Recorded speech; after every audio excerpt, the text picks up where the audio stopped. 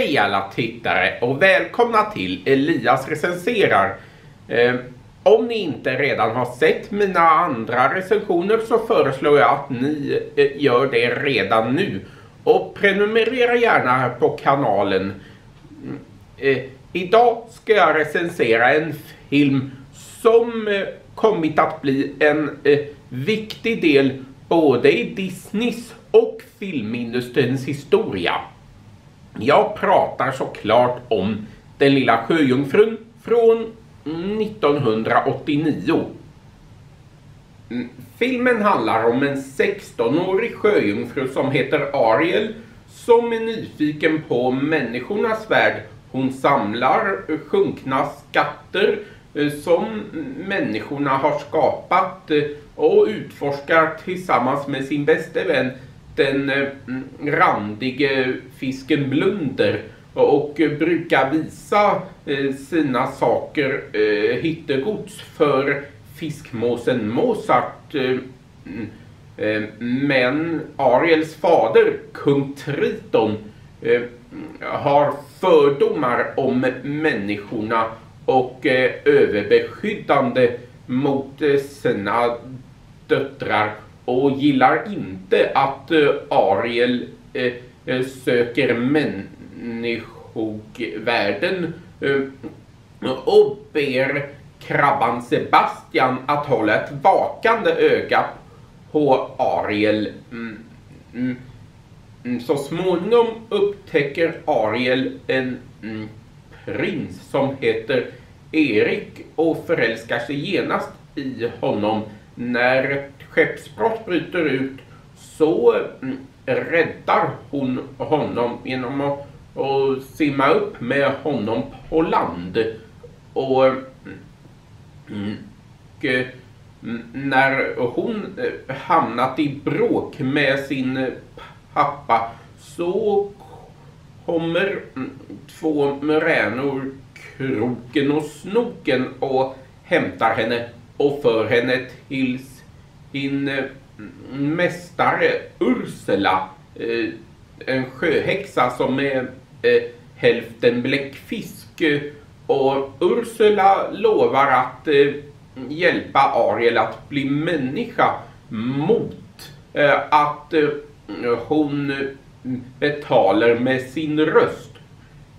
Och mm, att hon blir människa innebär att hon inte längre kan andas under vattnet så Blunder och Sebastian skyndar sig genom att ta upp henne till ytan. Eh, väl där uppe får hon hjälp av Blunder, Sebastian och Mozart att eh, mm, få prinsens uppmärksamhet och bli väl omhändertagen där. Ursula har dock eh, givit Ariel tre dagar och, och i, om hon inte fått Erik att kyssa henne eh, inom tre dagar så förblir hon eh, mm, sjöjungfru igen. Jodie Benson är rösten till Ariel eh, och jag tror visst att det var eh, hennes eh, första röstroll. Mm. Prins Erik görs av Christopher Daniel Barnes eh, eh eller hur han nu uttalas. Blunder görs av Jason Murren. Mm. Eh, eh, krabban Sebastian görs av Samuel E. Wright. Fiskmåsen Mozart görs av Buddy Hackett.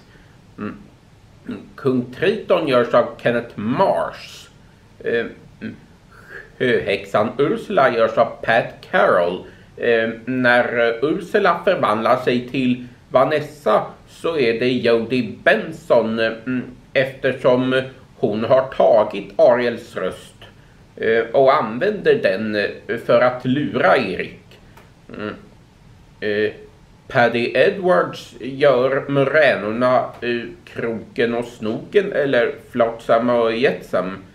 Ehm, Um, Grimsby görs av Ben Wright. Eddie McClurg gör Carlotta. Rennie Aubeyer, Jonis, Jon, Jon, gör kocken Louis. Uh, Will Ryan Eh, gör eh, sjöhästen Harold.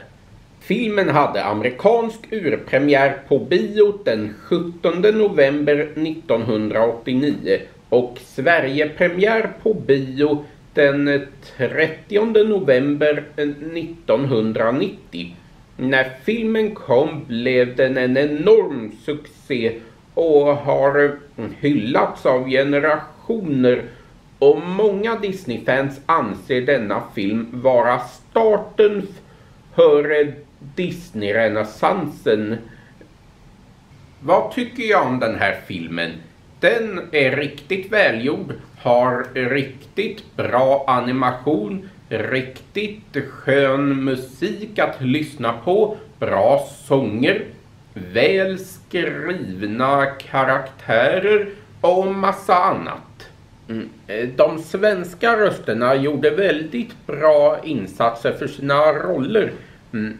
Eh, Ariel görs av Sissel Kyrkebø, eller ja, efternamnet är svårt att uttala. Men eh, Sissel i alla fall.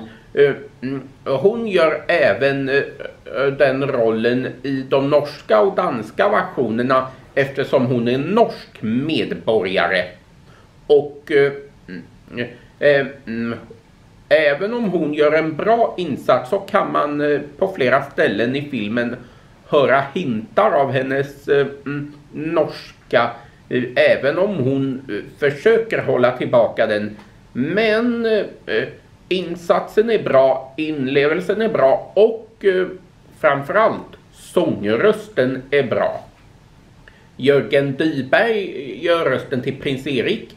Han gjorde sin första dubbningsdebut som elefantungen i Djungelboken och eh, en av, gjorde även en av eh, Rottigans underhuggare i Mästerdetektiven Basil Mus. Samuel L.R. Svensson gör rösten till Blunder. Han har även givit röst till Lillefot i första Landet för länge sedan-filmen. Mm. Eh, och senare har han även gjort eh, John och Lampis i omdubbningarna av Peter Pan respektive Pinocchio. Per Myrberg gör krabban Sebastian. Han har även givit röst till bland annat Thomas O'Malley i Aristocats och Erlige John i Resan till Amerika. Per Eggers är rösten till Mozart han har även givit röst till bland annat gatuförsäljaren i Aladdin.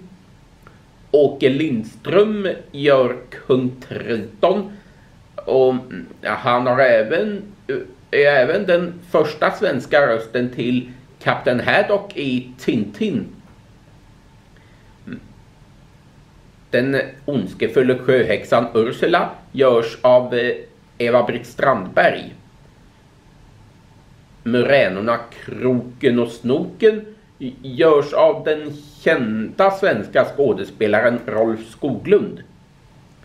Claes Tellander gör rösten till Grimsby. Eh, mm, eh, hushållerskan Carlotta görs av den kända svenska skådespelerskan Sissela Kyle. Eh, har även medverkat i en rad svenska filmer Bland annat så var hon riksdomaren i förra årets julkalender Kronprinsen som försvann. Mm.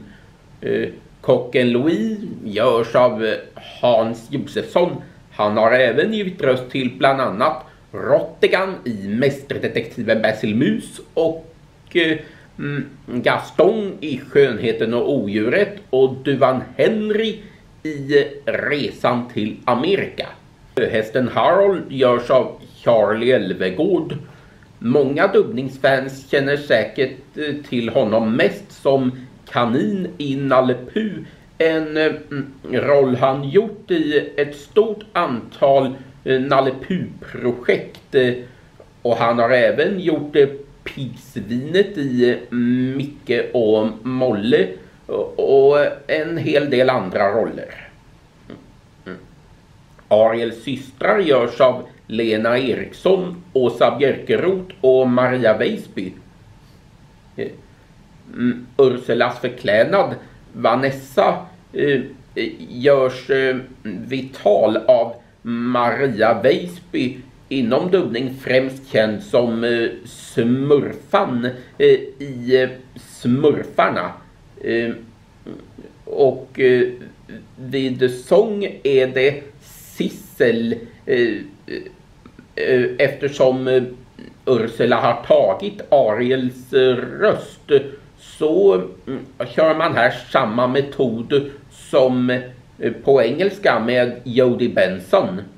Prästen görs av Nils Eklund som även gjort bland annat Sultanen i Aladdin, mm, Jock i Lady och Lufsen, Herr Uggla i Bambi, Mr Flabsom i Mästerdetektiven Basil Mus och så vidare. Eh, tvätterskan görs av Doreen Denning som även är regissör och översättare för den svenska dubbningen. Eh, Jan Sjödin och Göte Grefbo eh, gestaltar sjömän. Den förstnämnda har även givit röst till bland annat bokhandlaren i eh, Skönheten och odjuret och den andra nämnda mm, medverkar i 1969 års eh, Pippi Långstrump. Eh, kören framförs av Lilling Palmeklint, Erika Essen Möller, Agneta Olsson Lundblad, Lars Risberg, Kai Högberg, Lasse Westman och Kofi Benzi Enchil. Regissör för den svenska dubbningen är Doreen Denning som även översatt eh, filmen. Producent är Marie-Anne Barfeld. Sångtexter och musikalisk ledning är Ingela Pling Forsman.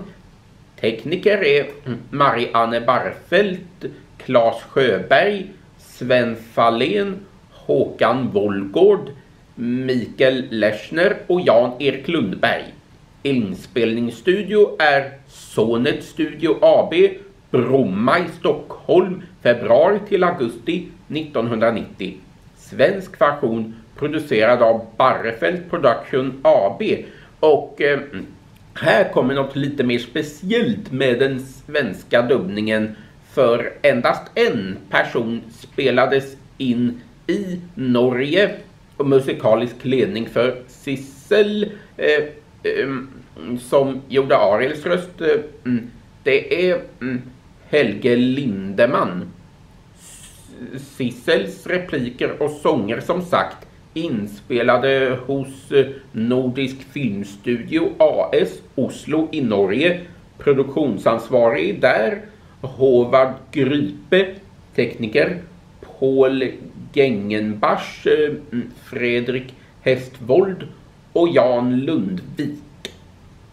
Är det här en film jag rekommenderar? Absolut. Eh, den filmen eh, mm, går att uppskatta även i vuxen ålder, har klarat dens tand mycket väl, håller väl än idag, mm, värd att se sig flera gånger om och eh, eh, mm, eh fast vissa scener eh, kan dock vara skrämmande för de yngsta barnen så kolla gärna tillsammans med en vuxen.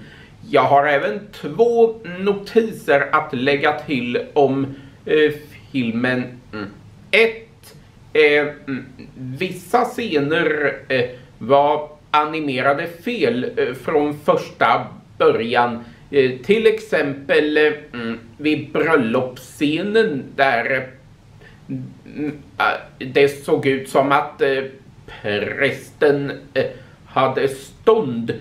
Skaparna menade att det skulle föreställa ett väldigt benigt knä. Vid 2006 års specialutgåva har man rättat till missförståndet och mm, eh, eh, i den svenska versionen klipptes filmen vid biopremiären med tre minuter. Man ansåg att bland annat eh, slutscenen var eh, för våldsam till exempel och eh, mm, vid 2006 års specialutgåva har man återställt filmen till sin eh, fulla längd och mm, man har tvingats klippa bort Sissels eh, nynn i scenen där Ursula tar Ariels röst och bytt ut den mot eh, originalversionens eh, Jodie Benson och eh, mm, mm, eh, i den gamla